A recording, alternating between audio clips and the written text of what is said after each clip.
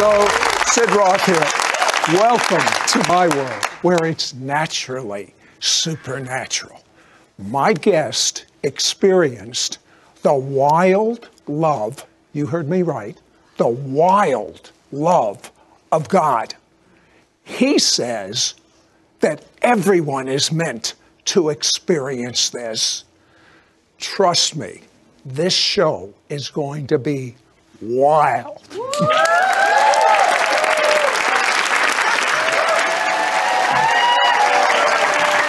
I Sid Roth here with Chris Dupre. And let me tell you something, no one should have to go through what Chris went through. His dad was a bombardier in World War II, POW in Germany. Uh, he uh, was tortured in, in, the worst, most, the worst fashion a human could have. Uh, he came back a war hero, but he also had a condition that no one understood back then. It was called PTSD. And Chris, for some reason, he chose you to take his anger out on. Uh, what, what, happened? Uh, my dad came back. Um, no one knew that there was another side to him now. I don't even think he knew.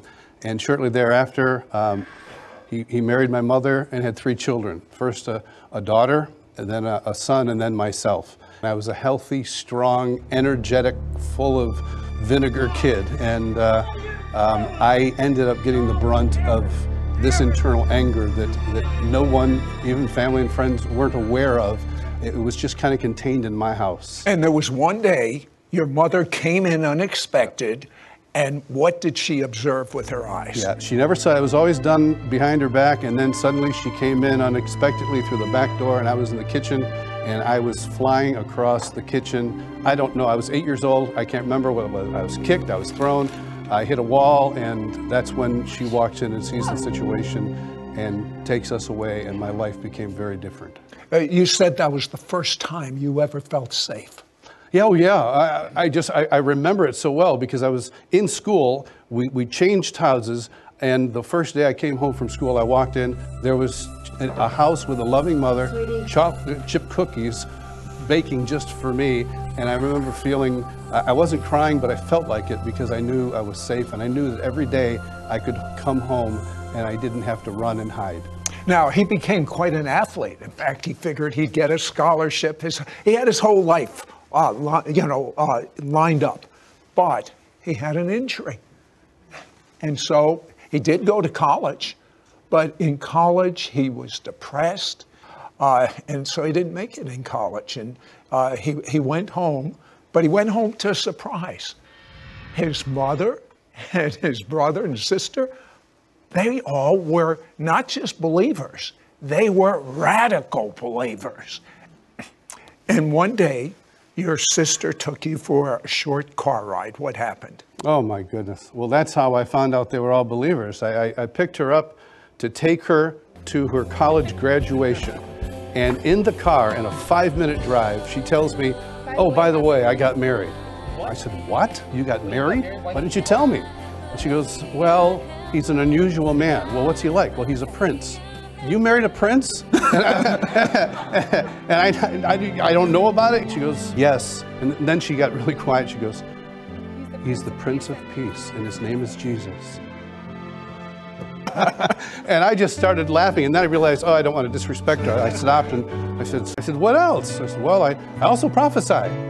I said, you, you prophesy? You tell end time things? No, no, not like that. It's like God's heart and intents come through me to other people. I encourage them. And I just said, well, what's God sound like? And she said, well, he sounds like me. And I said, well, then I don't want him. I've had enough of my sister over the years. I didn't want God to sound like my sister. Uh, so then you hear a voice. Oh, I, will never forget it. Uh, actually, my, my buddy Mike was driving the car. We pulled in, we dropped my sister off, and then we went around to the parking lot. And we're laughing hysterically about this conversation. And, and um, I'm in the back seat. He was in the front because there was another person there. And uh, I, he gets out of the car, and I start to get out from the back seat, and there's nobody in the car.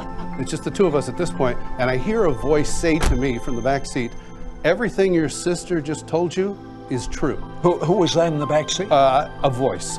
There was- there was no, there was one, no there. one there. I turned around and looked, and Mike was 15 feet away I mean, from the wait, car. was it was it like an inner thought or was it an audible voice?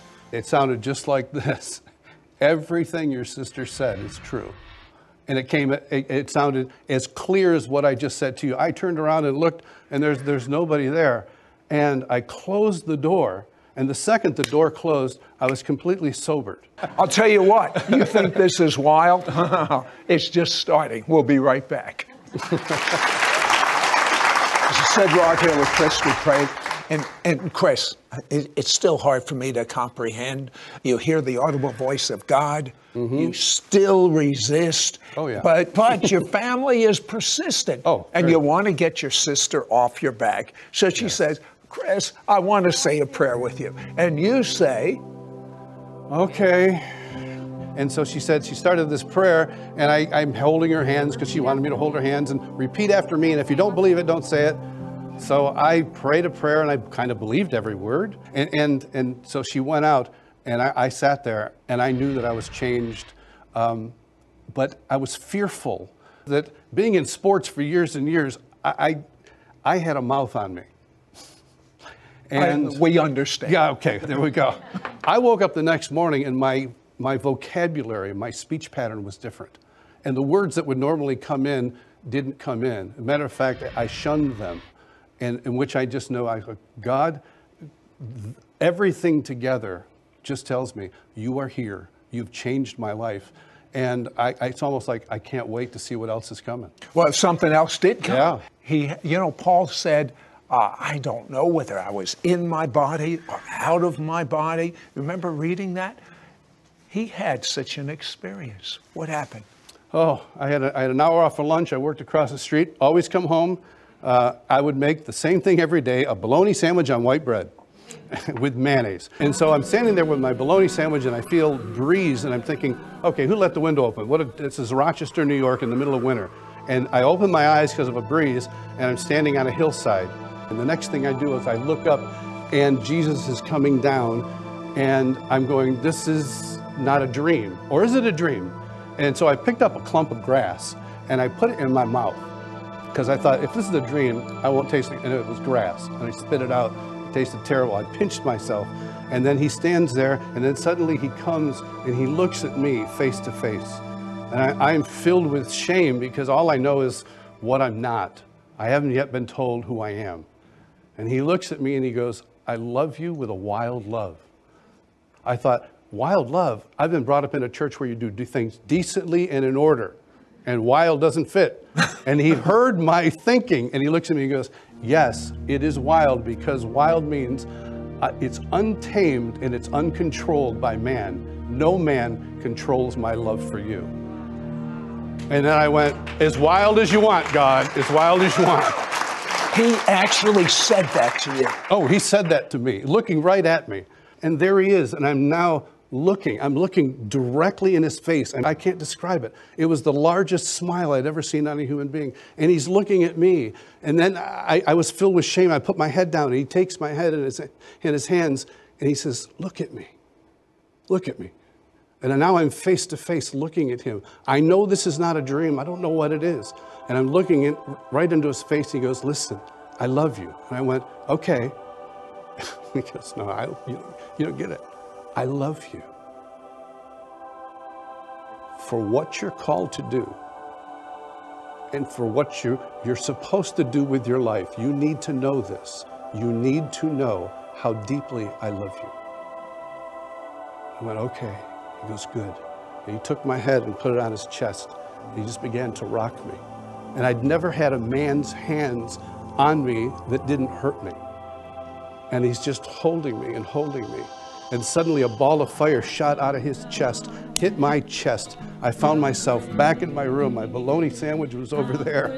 And I just, I'm weeping and weeping and weeping. And I threw myself on my bed and I wept and I wept. And suddenly I go, I've got to go to work. I got to get up. And I picked up my pillow and I thought, well, I'll, I'll just take the pillowcase off because it's wet. And then when I picked it up, it was dripping from the bottom of the pillow. And I put my hand on my, my mattress and pushed my hand, and water sprouted out. And I realized 20 years of pain I was delivered by a face to face encounter, and through my weeping, 20 years of pain delivered my heart from the pain of my father and the abuse that I took. And shortly after that, someone brought up his dad to him. In the past, when he would hear his dad's name, the fear, his stomach would churn, the hurt, the disappointment. And he noticed he didn't have those same feelings. And when we come back, I want you to find out what God did as far as forgiveness, because this is off the charts. Be right back. Now, this experience that Chris Dupre had uh, was so wild that he took, if you remember, he took a piece of grass, a clump of grass, and put it in his mouth. Said, "Is this real? What is going on?" Well, after he woke up and cried, what did you have in your mouth? Well, I woke up, I, I went back and, and wiped my tears off, went across to, to work, and, and you know, somebody said, as soon as I said something, they said, What'd you have to eat? And I said, Well, I had a bologna sandwich. And they said, Well, you've got all sorts of green stuff in your teeth there.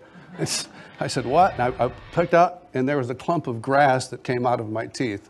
Uh, I don't have grass in my living room. So. Okay, your recollection of your dad Yes. is beating after beating, welts all over your body, fear, hurt, everything, every emotion you can imagine. Yeah. Uh, 1982. Yes. July 4th, as a matter of fact, family gathering.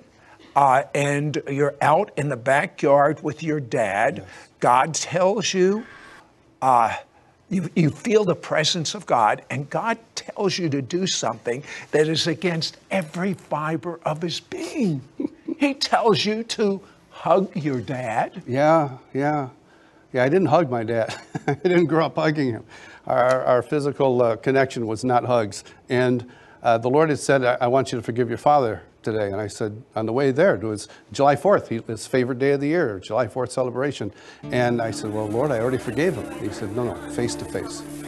I was like, Oh, I don't want to go face to face with him. So I'm, I'm standing there by the garden, um, and he's alone. And I, I go, uh, Dad, I, I have to tell you something. Um, he goes, What? He goes, it's, it's about when I was little and, and you lived with us. And he goes, Yeah, what? It's like, Oh. And all I could all I could say was instead of running through a list of things that I wanted to forgive him for, I just said, I just want to say that I, I love you and I forgive you for everything that happened. And he didn't say a word. I was waiting for him to say, Forgive me for what? or yell or try to, try to hit me, and nothing. And he didn't move. And the Lord said, He needs your touch. Put your arm around him. It's like, I don't do that. And I heard, Now. It must have been very uncomfortable for you. Oh, it was. And so I remember putting my arm around him, thinking, I've just exposed my side if he wants to go for it. And so I put the second my hand touched his shoulder, he began to bend over and weep and weep and weep. And he was crying uncontrollably with everybody around at a July 4th picnic. It didn't matter. He is crying and he's crying, and he starts to to almost fall to the ground and I'm holding him up and he realizes he's not going to make it. So he puts his hand over around and grabs my belt. The second he touched my waist, I bent over and I began to weep and weep. And the two of us are standing out by the garden with kids playing, dogs running, hot dogs burning. And we are just bending over, weeping uncontrollably for about three to five minutes. And some, some supernatural connection or reconnect took place during that time. And suddenly it stopped, it was over. We cleaned ourselves up, and he didn't want to talk about it, so I just. But Chris, Yeah. for the next nine years, Yes. I have to tell you, you had the most wonderful relationship Yes. with your dad. Yes. But his father goes in for exploratory surgery, and uh, someone's neck was just healed in Jesus' name. His father goes in for exploratory surgery, but just before he's wheeled in, Chris is there. Just briefly, tell Yeah. me what happened.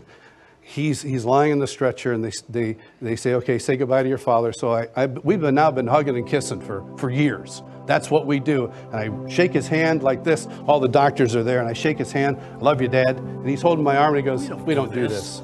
And I go oh I know what we do and he pulls me into the stretcher on top of him with one toe on the ground, and he begins to kiss my cheeks and kissing back and forth, turns my head and goes, This is my son. I love him. He's great. And then they begin to wheel him away, and he, and he goes, Stop, turn the stretcher around. I can't see my son. So they turn the stretcher around and begins to, they, they're pulling him away, and he goes, Love you. And I go, Love you, Dad. He goes, No, no, I love you more. And he pulls out his heart and he goes, uh, uh, uh, uh," and he throws it at me. And I pull out my heart and I throw it at him, and he pushes it in. And the last thing he goes, he starts kissing his fingers over and over and over again. I'm thinking, what's he doing? And then he turns into me and goes, and I just stood there, and the nurse next to me is starting to cry, and I, I just pretend like he's killing me with love bullets. And she starts crying. She goes, I have never seen this kind of affection between a father and the son. Has it always been like that? And I said, Oh, have I got a story to tell you? And he, they pulled him into the elevator, and the door began to close, and he began to move over on the stretcher while the door closed, kissed his thumb, put it in the air, and said, I love you. Now, you can experience God's wild love. Now, have you ever heard the song? It's one of my favorites, probably one of the most intimate love songs of all time. Dance with Me. I just happen to have the author of that song here. Chris Dupre, would you go to the music set and sing that song? I would be honored. Chris is going to impart the wild love of God upon you. Are you interested? Yes. Me too.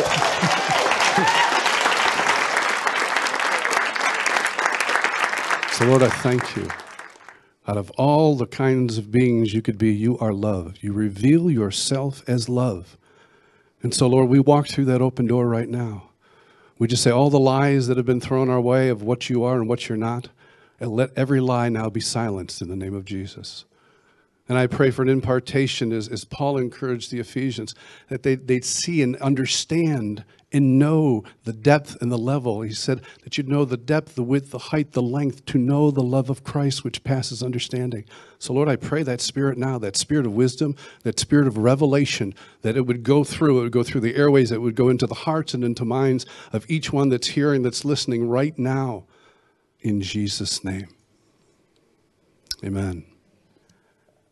I was singing a song, We Will Dance on the Streets That Are Golden, in my living room years ago while my daughter began to dance around the living room with a veil. And it was so beautiful, this, this beautiful little 12 year old dancing unashamed before her father. I said, Lord, I love the multitude, but I just want to watch her dance. And I felt him say to me, That's how I, that's how I, I see it. I, I love that. I love the multitude, but when one person says yes to dance with me, my heart rejoices. Five minutes later, this song was written.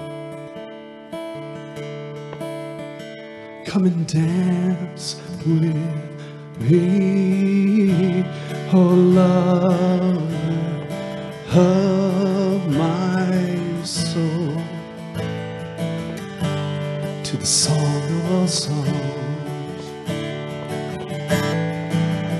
Come and romance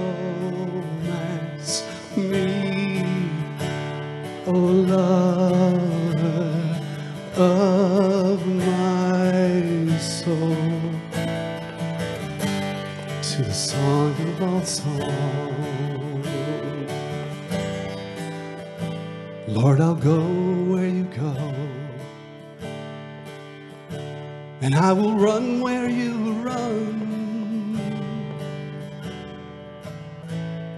And I will dance, dance with you.